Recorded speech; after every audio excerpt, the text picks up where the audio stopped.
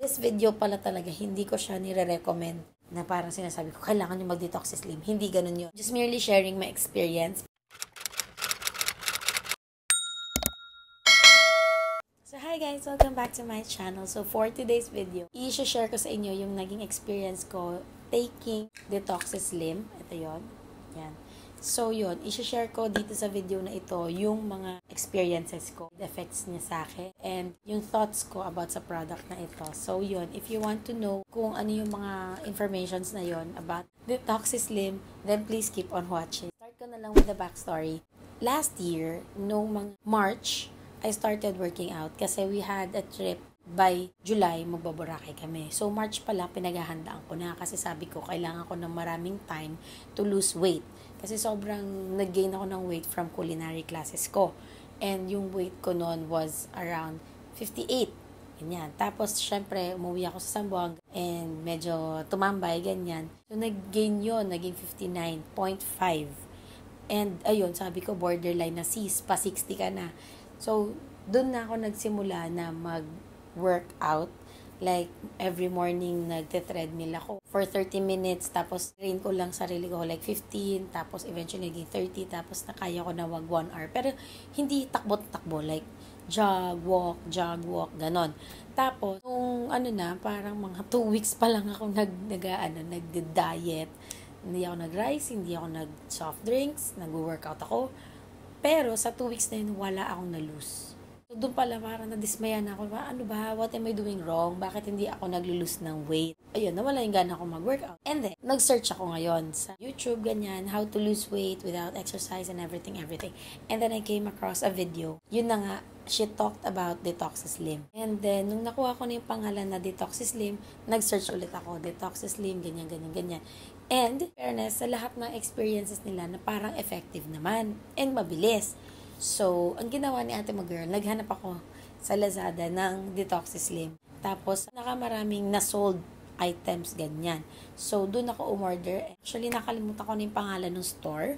Pero yun, doon ako umorder sa kanya. Isa lang muna kasi I wanted to try lang. Although, aware na ako kasi syempre na marami na nga akong napanood ng mga videos, ganyan.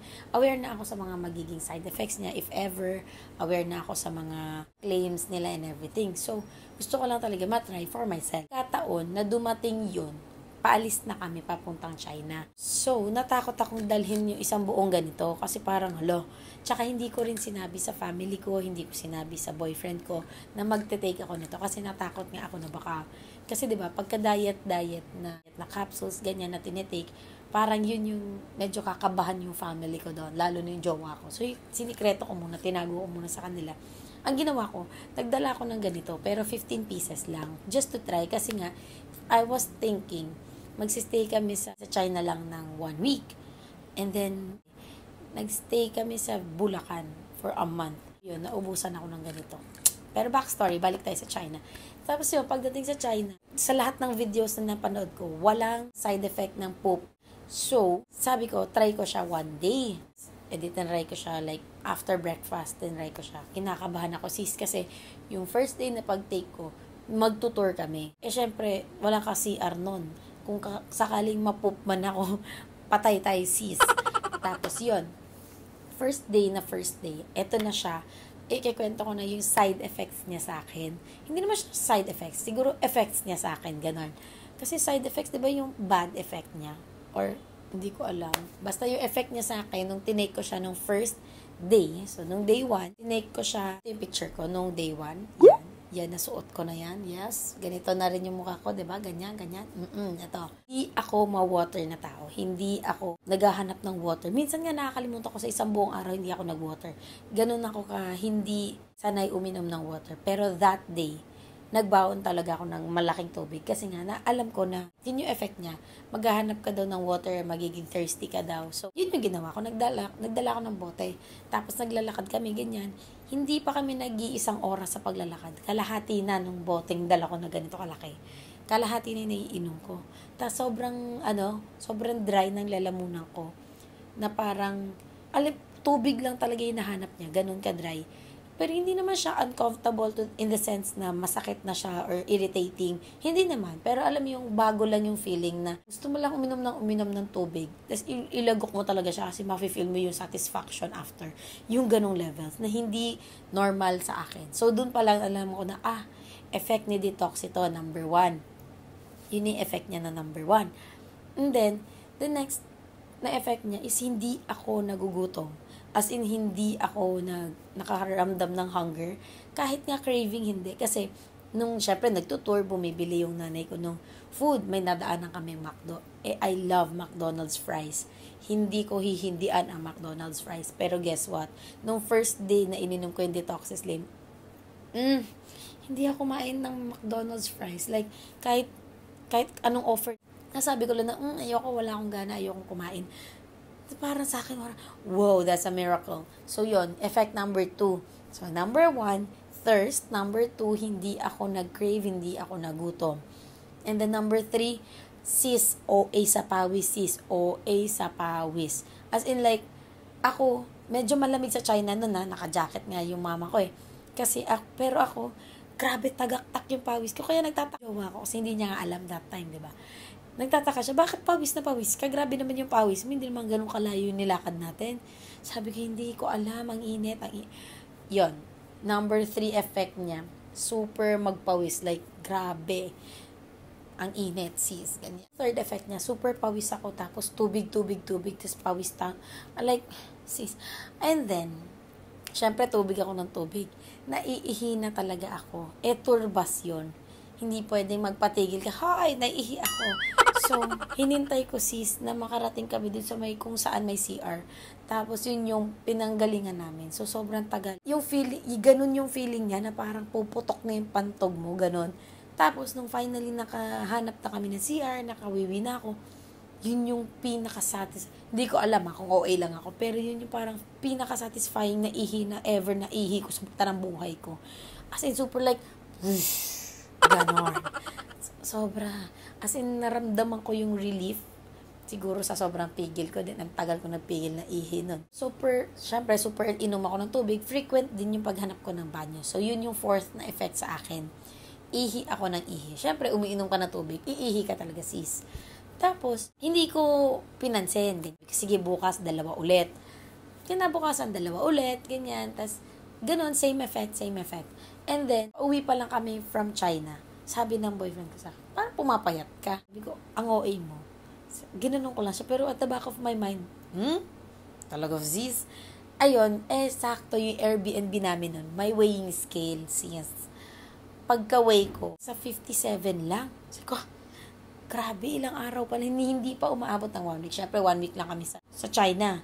Umaabot ng one week, ganun na, nag-lose na ako ng weight 2 kilos na yung nalus ko sa ilang araw lang na yun. Pero talaga hindi ako kumakain. Tapos nakikishare lang. Kunwari, kakain kami sa labas. Makikishare lang ako sa jowa ko. Hindi ako order ng sarili ko kasi hindi ko nga nauubos. Number 5 din palang effect niya. Fifth effect niya sa akin is, alam mo yung pipilitin ko pa sarili kong kumain. Tapos pagka kumakain na, parang busog agad. Ganon yung feeling. Tapos, syempre, mas mainit sa Pilipinas. Ay, mas tagaktak yung pawis ni ate mo, girl, sis As in, kahit wala akong ginagawa, nakahiga lang akong ganyan. Grabe, tagaktak yung pawis ko. And then, dun sa Bulacan, hindi naman namin bahay. Naglalaba rin ako, ganyan. Marami rin akong ginagawa household chores, tumutulong kay mama, ganyan. Tapos, dun ko na napansin na parang, oo nga no, parang numinipis na yung mukha ko. Pero that was after a week. Pero, dumating yung time na naubos na yung 15 pieces ko, syempre, two times a day naubos na siya after like one week lang. Kasi yung iba hindi ko iniinuman, ganyan. Nag-skip ako ng ilang times. Nung naubos na siya, nalungkot na ako. Sabi ko, hala, baka bumalik na appetite ko, ganyan. Fairness, hindi naman siya bumalik until, until nakatake ako ulit. End of May, nagbuhol kami. Doon ko nakita yung picture ko na effect niya na parang before and after. So, ito, before, sa China kami nito, nung first day na tinake ko siya, and after, nang buhol kami nito ng May. So, ilalagay ko na lang din yung date exact kung kailan sila. Basta na andyan sila. Tapos yun, doon ko nakita yung effect na parang, hala, oh my God. Tapos yun, tinuloy-tuloy ko lang yung pag-take hanggang sa nag, nag-Norway na rin kami. Doon sa Norway siguro mas nag-lose pa ako ng weight kasi hindi ma-rise yung meals doon. Walkathon doon sis, grabe yung lakad nila doon. Hindi ko gets talaga. May sasakyan kami pero yung lakad sis, makyat pa kami ng bundok. Ayun. So siguro kaya rin sobrang nag-lose ako ng weight. Nung pagka-uwi ko ng Pilipinas noong July, eto na yung itsura ko noong July. Yan. So yun, yun yung effects niya sa akin. So now, alam nyo effective siya. Effective siya sa akin. Unang bili ko, tapos pangalawang bili, ganun pa din Pangatlo, nung dinamihan ko na, kasi syempre, magsastock ako. And gusto ko na rin mag-sell kasi nga, ang dami nang nagtatanong, Uy, paano ka pumayat? Paano mo nagawa yan? Ganyan, ganyan. In a short amount of time lang. Syempre, kasi April lang ako nag-take. May, June. Tapos, nung July, pagka uwi ko, sobrang pumayat na ako. Umabot na ako ng 53. 53, 54 kung busog. Siyempre, di ba, 5 kilos yung na-lose ko in that span of time na sobrang hirap para sa akin mag-lose na-lose ko yon So, yun, parang sobrang, ang daming nagtanong, ang daming mga ganyan, hanas-hanas. So, yun, doon ko nalaman na sobrang effective, pero hindi ko pinagsasabi pa that time. Noong order na ako para ibenta, doon ako na bad trip sis. Kasi, nung, tin syempre, kung ano yung binibenta ko, yun tinetake ko. Pero na-feel ko na hindi ganun yung effect niya. Tapos sabi ko, hala, baka fake yung nabili ko. Ending, hindi siya fake, pero apparently, nag-reformulate si Detoxy So, yung mga lot number pala, kaya pala sabi ko sa questions, ang daming nagtatanong, anong lot number, anong lot number? Sabi ko, bakit? Anong question doon? Yung pala, yung manufacturing batch, ganitong certain batch, ganyan. Kasi si D, kunwari ito, nakuha ko is D64. Ito na yung bagong reformulated na hindi na ganun ka-same effect. Sobrang dami kong ginatinan nyo, oh tinanggal ko pa to, to just to check kung legit siya. And legit naman talaga siya. Pero nalaman ko nga na nag-reformulate pala si Detoxy Slim which made it na parang lesser yung effect niya. Ha! Number 6 pala, I forgot to mention, palpitations. Like, palpitations talaga. Hindi naman like, sobra, like, ganon. Parang ano lang, like, gagalaw ka. Kunwari, kukunin mo lang yung cellphone mo, magbibit na talaga yung heart mo, tapos parang pawis ka na. Ganyan yung, ano niya, para kang pagod na pagod lagi. Ganon. Back, back to this one, ganon. Tapos yun, ganun kalakas yung palpitations, hindi na rin ako ganun ka nagsisweat. Wala na rin, hindi na, like 50% yung appetite niya na suppressant, ganyan. Kasi nagkikrave pa rin ako, kumakain pa rin ako. And then, yun, doon ko na-confirm na parang, ay, hindi na same yung effect niya before. Then, yun, nadismayan ako na sayang, narami pa naman akong binili para maibenta, ma-stock, ganyan. Tapos, yun, yun yung feedback din sa akin ng mga bumili sa akin kasi syempre, todo ano ko, kasi umepect naman talaga siya. Yung pala, new batch, siguro kasi na ano, nabasa ko ang article na winarningan ng FDA yung paggamit nito dahil nga sa palpitations na effect niya. Pero for me, kung, kung wala kang sakit sa puso, hindi ko nire-recommend. This video pala talaga, hindi ko siya nire-recommend na parang sinasabi ko, kailangan nyo mag-detox slim. Hindi ganun yon I'm just merely sharing my experience para, wala lang, may thoughts lang kayo sa mga curious dito sa detox slim na to. Kasi alam ko matagal na rin to. Alam kong medyo matunog na yung pangalan nito. And ayun, for me, okay talaga siya before. Like, I fell in love na sobrang minahal ko yung detox slim. As in, part siya ng routine ko everyday. Hindi ko siya makakalimutan, ganon. Tapos, nung nag-reformulate na sila, medyo nalugmok na ako, ganyan, nakakalimutan ko na siya. Kasi, hindi na nga ganun ka-same yung effect niya. Higilan ko siya, eto na nangyari sa akin. So, yung 53-54 ko, 59 na ulit yun nga lang yung ano niya, yun yung effect niya. So, ko ulit mag-take na itong D64 na ano naman, ganun, pawis, tapos medyo, so hindi na siya like, siya ng mga 70% na lang yung effect niya. Parang 30% yung nabawas dun sa maximum na effect niya, yung mga pawis, yung mga thirst, yung hunger, yun. Mm, sayang. Kasi gustuhan ko yung effect ng before. Tapos sabi ko, goal ko pa naman mag 50. Kasi syempre sis, 5'1 lang tayo. Char, 5'1. 5 lang tayo. 5 to 5'1 lang tayo. Tapos, yung ideal weight nasa ano lang, nasa 48 to 50 kilos. So, I wanted to bring it like 50 kilos sana talaga. Tapos, kasya na sa akin yung mga damit ko. Sobrang sarap na ng pakiramdam ko. Tapos, biglang, whoop! We're back. Sobrang saya niya. In, alam niyo, in the span of one year, na-experience ko mag-lose and mag-gain ng weight again. Hmm? Yung ganong feeling, nakakainis, di ba? Nakakairita yung ganon. So, yun. Yun yung experience ko with Detoxy Slim. And, ayun, nagdadal lang naman talaga ako. Dapat kasi, di ba, itemized yon Dapat maayos yung pagkakasabi ko. Pero, kinuwento ko lang yon Naging story time. Pero, sana may na-pick up kayo dun sa may kwento ko. Yeah, with my experience sa Detoxy Slim. Recap ko na lang. So, number one effect niya is thirst grabe ka, mauuhaw ka talaga, like tubig talaga yung magiging best friend mo. Number two, pawis. As in, pawis na pawis na pawis kasis. Tapos number three, palpitations na parang konting kibot mo lang, tug tug tug tug, tas pawis na yan. So, sobrang init ng katawan mo niyan. Tapos number four, ihi ka na ihi. Siyempre, umiinom ka ng tubig, iihi ka na iihi, sis. Number five, hunger suppressant. Like, appetite suppressant, hunger suppressant, basta hindi ka magugutom. Parang iba lagi yung lasa ng dila mo na parang wala kang ganang kumain talaga kahit nandyan yung paborito mong pagkain. Mm. O kaya kung kakain ka man, siguro mga tatlong subo lang busog ka na. In like, full talaga yung feeling. Ganon yung feeling. Sana may natulong tong video na to. Alam ko over overdue na to kasi may bago nang sumisikat ngayon, yung frozen detox.